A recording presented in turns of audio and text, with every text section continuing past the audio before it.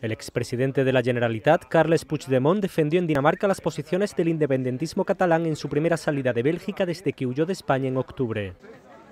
Puigdemont, propuesto este lunes de nuevo como candidato a encabezar el gobierno catalán, aterrizó en Copenhague rodeado por la incertidumbre sobre su estado penal y una posible solicitud de extradición desde Dinamarca, pero el panorama se despejó al no acceder el Supremo a la petición de la Fiscalía Española.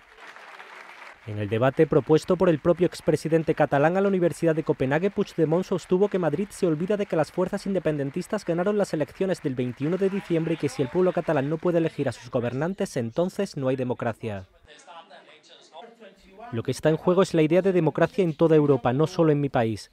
El 21 de diciembre el pueblo de Cataluña mandó un mensaje a Europa y al mundo. No nos rendiremos ante el autoritarismo. A pesar de las amenazas de Madrid, pronto formaremos un nuevo gobierno y es el momento de negociar. Puigdemont también aseguró que la gran mayoría de los catalanes son todavía proeuropeos, pero advirtió de que no pueden cerrar los ojos ante los errores de la Unión Europea, cuyas instituciones acusó de usar diferentes estándares según los países. El líder independentista fue recibido y despedido con muchos aplausos, pero también vivió momentos tensos con las preguntas de los profesores Christian Rosbol y Marlene Bing.